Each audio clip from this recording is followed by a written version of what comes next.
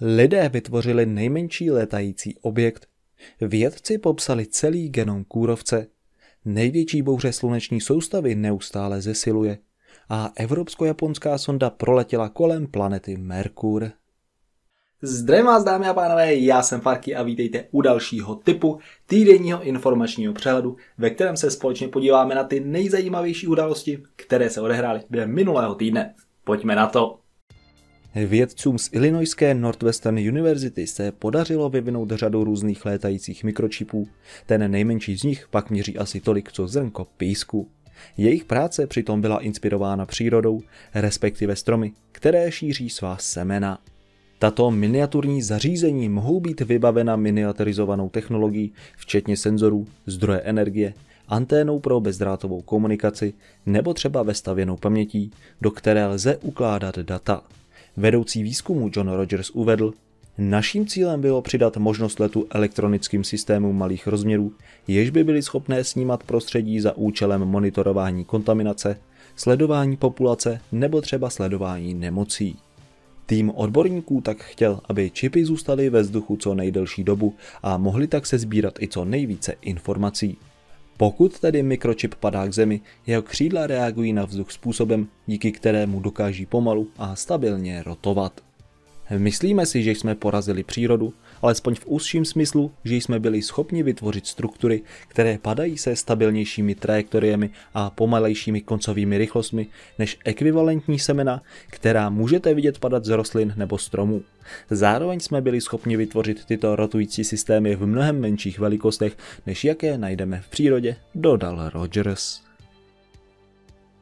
Vědcům se podařilo zmapovat celý genom kurovce, respektive líkožrouta smrkového, jak se brouk správně jmenuje. Díky tomu by tak vědci měli nalézt nové a především účinné způsoby, jak na tohoto škůdce dohlížet a kontrolovat jeho počty. Mapování jeho genomu dle autorů umožnilo lépe pochopit, jak a proč se stal v Evropě a Ázii tak úspěšným. Vědci tak zjistili, že má neobvyklé množství genů, které pomáhají rozkládat buněčné stěny rostlin, naopak postrádá zvýšený počet genů, které mu umožňují zbavit se cizorodých látek. To je přitom překvapivé, protože pryskyřice stromů je pro hmyz toxická. Zmapování genomů by mohlo být využité i při snaze potlačit některé jeho geny, které mají vliv na přežití, případně pozměnit geny klíčové pro jeho rozmnožování. Tímto způsobem by bylo možné korigovat populace kůrovců. No a jelikož tato metoda využívá pouze genom konkrétního druhu, neměla by žádné negativní vlivy na jiné organismy. Proces mapování genomu přitom není jednoduchý, zapojení do něj byli odborníci z různých světových institucí, včetně vědců z České zemědělské univerzity v Praze. Výzkum pak probíhal v rámci projektu Extemit K OPVVV, který začal roku 2017 se zaměřením na omezení klimatických změn v lesnictví, především pak na rozšíření kůrovce. Mezinárodní tým vědců vedený Češkou Zuzanou Musilovou z Univerzity Karlovy dokázal odhalit rozdíly ve zraku dospělých jedinců a potomků hlubokomorských druhů ryb. Dle studie se jejich zrak zásadně změní, když dospívající ryby sestupují do hlubin. Díky tomu tak bylo možné odpovědět na otázku, proč mají hlubokomorské druhy ryb čípkový gen citlivý na zelenou barvu, když ve velké hloubce není žádné světlo, ani to zelené. Podle vědců tedy mají hlubokomorské ryby v oku tyčinky citlivé na nízkou intenzitu světla, čípky rozlišující barvy pak v hlubinách nemají využití žádné. Z tohoto důvodu tak velká část genů čípků z genomu těchto ryb vymizela. Přetrval však protein citlivý na zelenou barvu, ta ale v hlubinách nemá žádnou roli a na první pohled ani není důvod, aby si ho ryby ponechali. Vysvětlení přišlo až s novou studií. Ve stádiu larev totiž začínají tyto ryby svůj život v mělkých vodách, kde je dost potravy. Až s věkem ryby sestupují do hlubin oceánu, kde tráví zbytek života.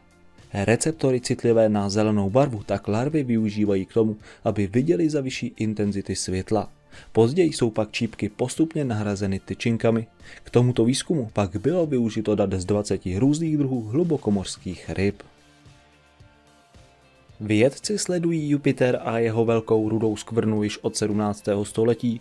V podstatě se jedná o obrovský hurikán, tlakovou výši, která v průběhu let mění svou velikost. Koncem 19. století byl její rozměr odhadován na 41 000 km. V letech 1979 a 1980 pak skvrnu zaznamenali sondy Voyager a potvrdili velikost 23 000 km. Roku 2014 pak měla méně než 17 000 km v průměru, stále je však větší než celá naše planeta. Jedná se o největší bouři ve sluneční soustavě, nepřetržitě je pak pozorována od roku 1831, což z ní dělá nejdéle trvající bouři, jakou kdy lidstvo zaznamenalo. Zvláštní však je, že v posledních letech začala zesilovat. Astronomové na to přišli analýzou dat z Hubbleova vesmírného teleskopu, sbíraných po dobu více než deseti let. Ve studii se píše, že průměrná rychlost plynů na okraji tohoto anticyklónu se v období let 2009 až 2020 zvýšila o 8%. Tyto větry přitom překračují rychlosti 640 km v hodině, avšak vítr uvnitř bouře zpomaluje. Na otázku, co je důvodem tohoto postupného zrychlování, však věci nedokáží spolehlivě odpovědět. Problémem je i to, že Hubbleův vesmírný teleskop nedokáže prohlédnout hlouběji do Jupiterovy atmosféry.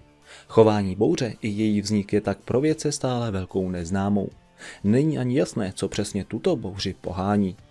NASA však připomíná, že tím, čím lépe porozumíme fungování atmosféry Jupiteru, tím lépe dokážeme pochopit procesy počasí i na dalších planetách, včetně té naší. A máme tu poslední zprávu.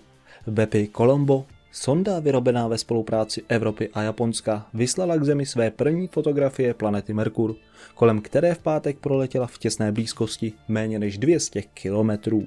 Sonda gravitačními manévry postupně zamíří na oběžnou dráhu první planety sluneční soustavy, kde vypustí dvě sondy.